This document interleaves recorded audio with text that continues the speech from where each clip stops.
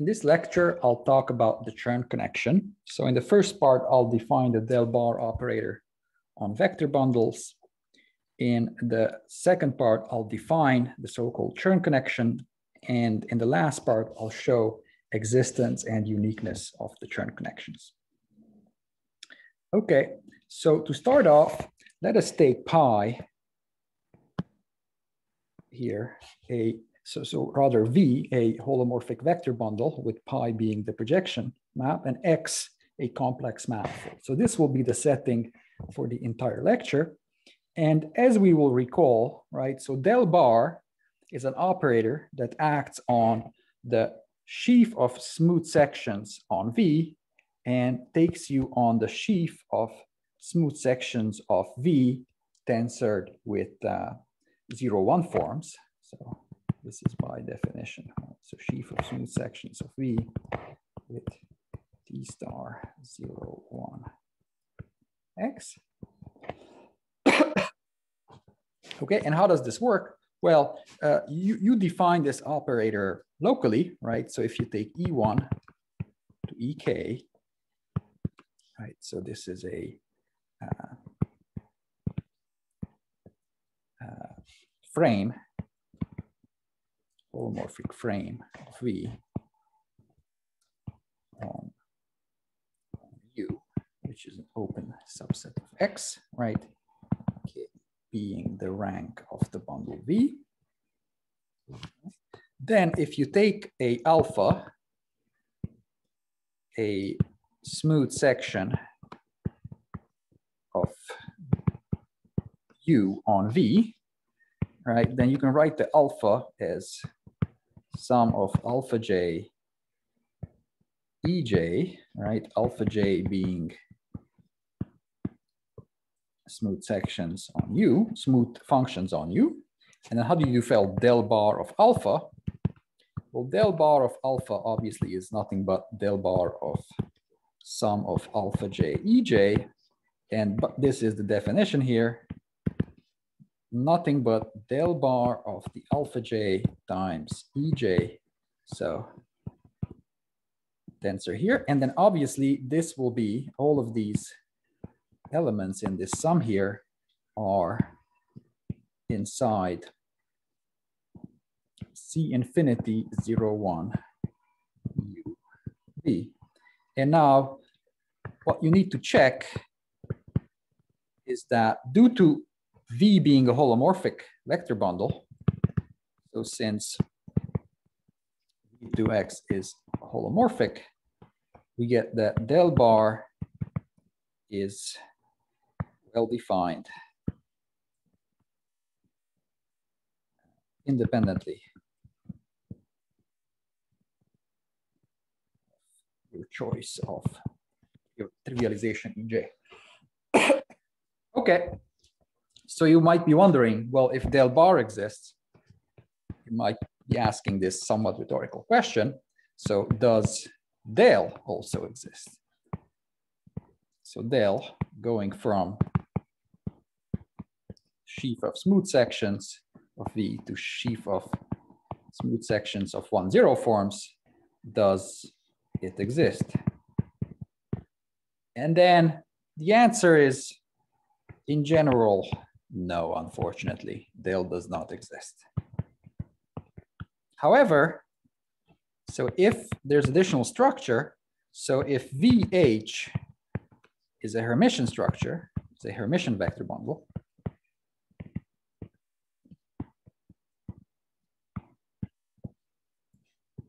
then an analog of del does exist. And this analog will be understood uh, using the Chern connection.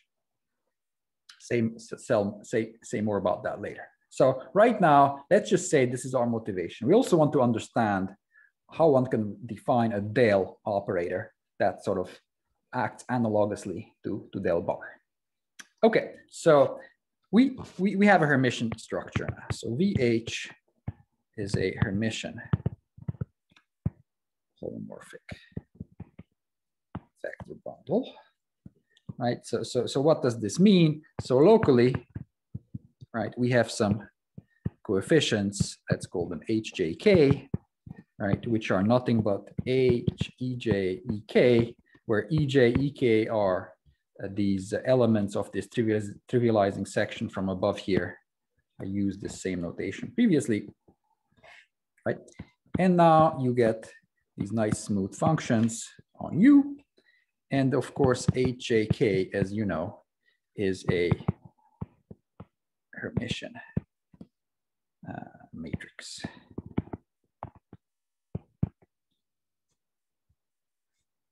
Right, positive definite for all. So let me put X here. Maybe I can. So HJKX is a Hermitian matrix for all X in U.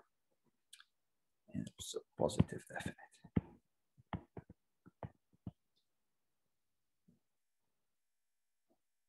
Okay. Uh, okay, good. So,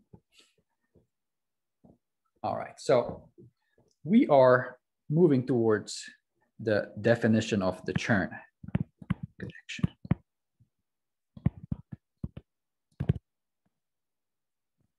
So how does that come about? Well, first, let's let's recall what the connection is to begin with. So so we say that D, right, going from the sheaf of smooth sections of V to the sheaf of uh, smooth uh, sections of V cross T star X is a C linear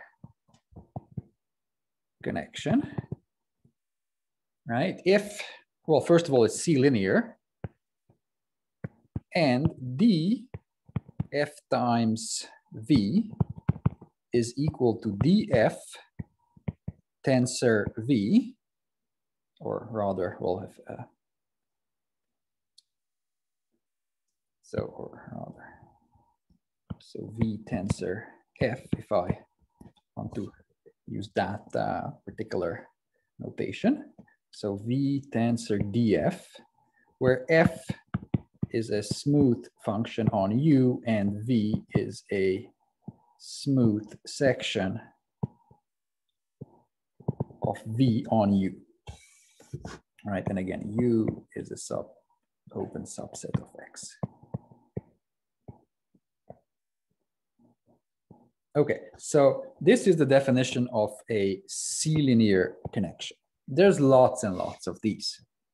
Now, uh, let's take it one notch further. So we want to work with connections that interact well with uh, our Hermitian structure. So we say that D is metric if the following holds. So if uh, if for all sections VW,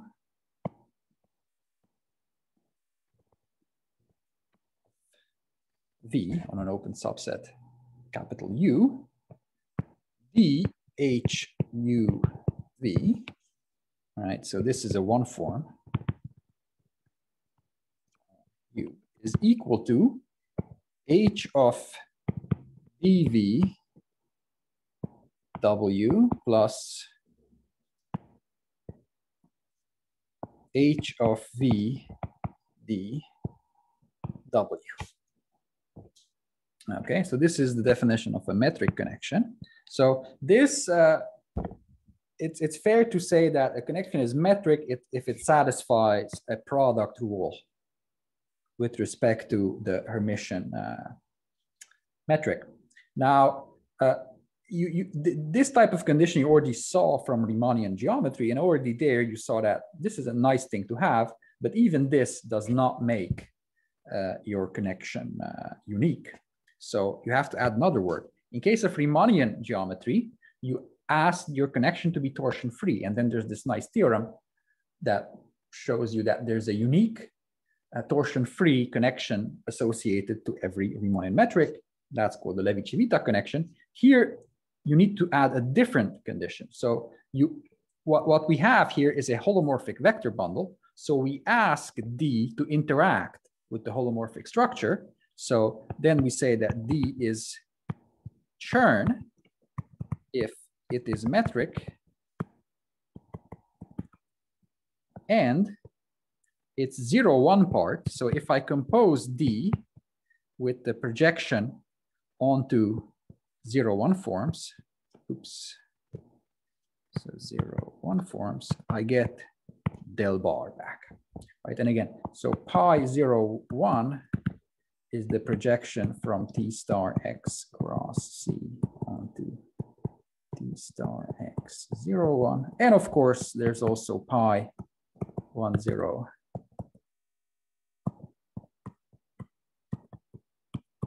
going into T star zero X. Okay, so a Chern connection is metric plus its zero one part is the del bar operator that we know exists. So, so this, this condition tells you that there's a good interaction with the uh, complex structure on the bundle. And this condition tells you that there is good interaction with the uh, Hermitian metric that you've chosen. And then somehow the next theorem tells you that actually you need both the Hermitian metric and the complex structure to uh, have existence and uniqueness of this type of uh, Chern connection. So let me just state that. So theorem, so if V is, VH is a Hermitian holomorphic vector bundle, then there exists a unique connection D. Okay, so let's let's prove this. So we start out by arguing uniqueness. Oh, be before before I get to the proof, so let me remark uh, how this relates to uh, our motivating uh, question, right? So the motivating question was whether there exists a uh, definition of, of D for a holomorphic vector bundle. And the answer is, so in case there is a, a Hermitian structure, then one definition of this D would be, so define the D operator as the one zero part of the Chern connection. Okay, so this could be a definition. Now, uh, obviously, this definition of del depends on, heavily depends on the choice of uh, Hermitian uh, structure, and that's okay. Somehow that's okay. Okay, so now let me give the proof. So we start by uniqueness. So, uh, so let's suppose so suppose there exists a Chern connection.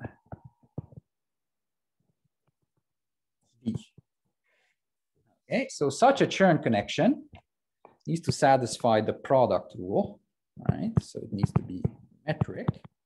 So that just means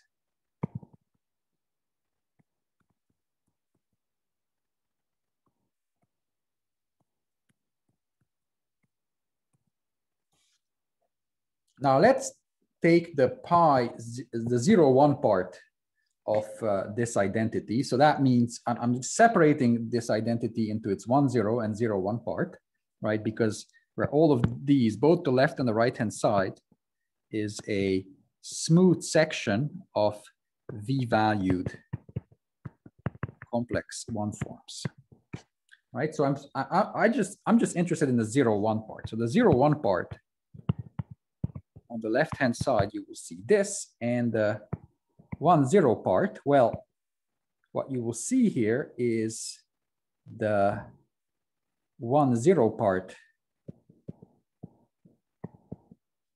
of D, V, W. Now, due to the Hermitian property, right, when you take the, oops, yeah, sorry. So, so here rather, since I'm taking the zero one part, this will be the zero one part of V plus the one zero part.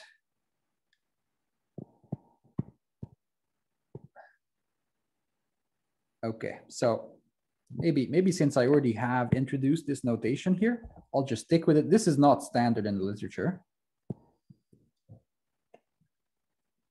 Okay, so now see what's going on? So uh, what's going on is I will get that H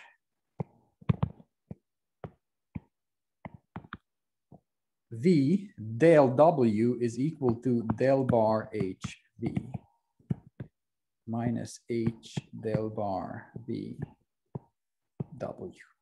Okay, now here on the right hand side, right? So only depends on H, right? Plus the del bar operator, which depends only on the holomorphic uh, structure. So, and, and this identity holds for all V and W smooth sections of V on an open set U. Right, so this implies, due to the fact that H is non-degenerate, that del bar HW is well defined. It, it, it has to be unique, is unique,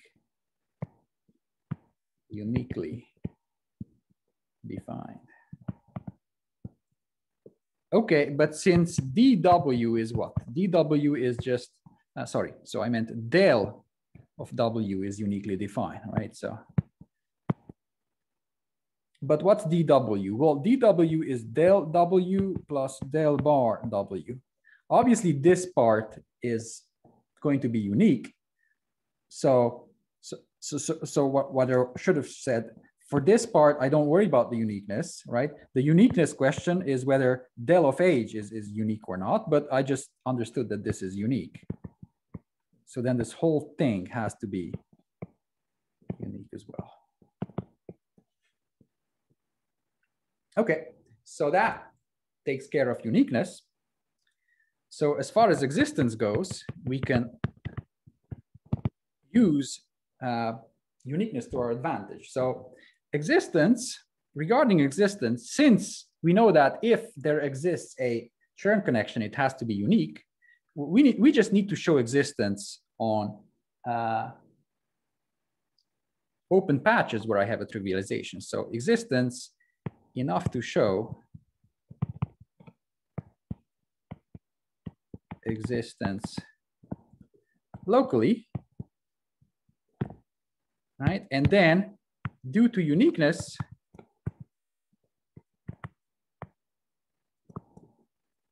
the local constructions that you show that exist has to be the same on the overlap. So due to uniqueness, local constructions have to be the same. Due to uniqueness. Okay, so let me argue that indeed locally the Chern connection does exist, right? So recall E1 to EK, right? We're taking a holomorphic trivialization.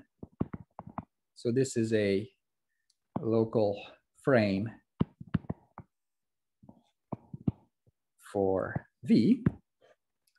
Okay, so I just need to figure out a way to define uh, the del part, right? Because the del bar part is uh, has to be the so the zero one part rather has to be the del bar operator. So how should we do this? Well, let's see what del bar. So, so let me let me do a bit of uh, preliminary analysis here. So if I pick a smooth uh, section of V on U, right, then I can write the U as sum of the EJ times some UJ, right, where the UJ are smooth functions, c-valued smooth functions on U. Okay, so what's uh, what's del H of U? Well, since uh, we're talking about connections, what you will see is this will be what? So this will be, okay, so let, let, let me, let me take a step back. What is D of U? Well, D of U is D of uj ej all the way summed up. So this will be duj tensor ej plus uj times dej. Okay, so now I can separate this into del and del bar part. So then I will get what? Um, maybe before that, I want to take this one step further.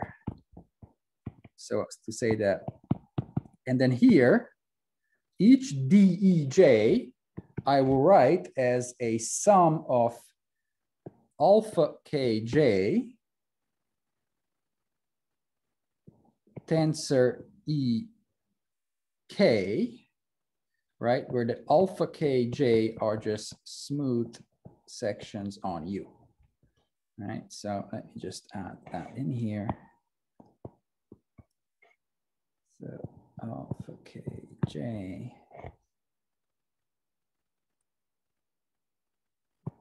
tensor ek, right? And then you should think of the alpha kj as the Christoffel symbols of D. Uh, so, so here it's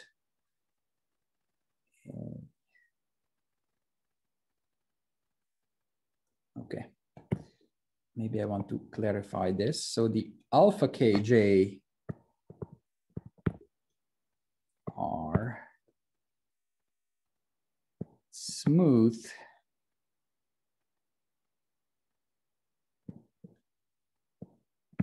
sections of V tensor T star X C. Okay, but we want the Chern connection, right? So when I take the del part, so when I take pi zero one of D, right, that should equal del bar, right? So that means when I take pi zero one of du, that should equal del bar of u, but that is just del bar of uj tensor ej. Okay, so when I compare with this expression, this tells me that the del part, which is pi one zero d of u, that should equal del uj tensor ej plus alpha kj tensor ek. So actually, the alpha kj are, I can be more specific about them. They are one zero forms.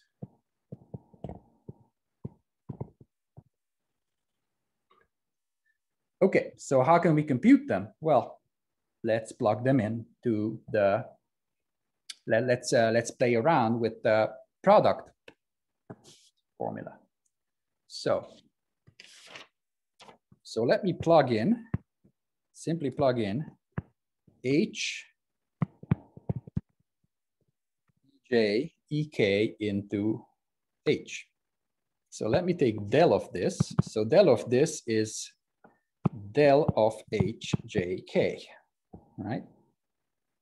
But also I can use the product formula to get H of uh, del HEJ EK plus H of EJ del bar EK. Okay, del bar of EK is zero because EK is a holomorphic section of V. So all in all, I get, using our local uh, description that del of hjk is equal to h of alpha L J E L E K. Maybe I want a different letter here, M. So all in all, I get that del of HJK is equal to alpha mj times hmk. So what you will get from here is alpha mj is equal to h transpose inverse times del of h transpose. Okay, so we get from here that, you know, our, uh, the Christoffel coefficients of our uh, connections do exist, right? So, so del H indeed exists.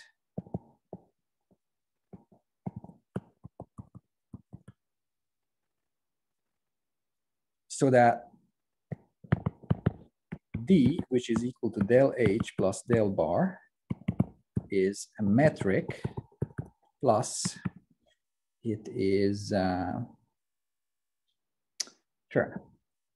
So in, in, in one word, it's Chern. So the del is Chern. Okay, that's it.